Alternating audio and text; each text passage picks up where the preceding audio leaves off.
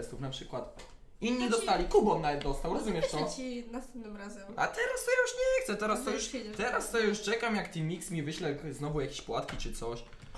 No nie wiem, no nawet Natsu mi dała płatki, rozumiesz to, a ja nie dostałem donatów. Ale dostałeś przedpremierowo loda ekipy.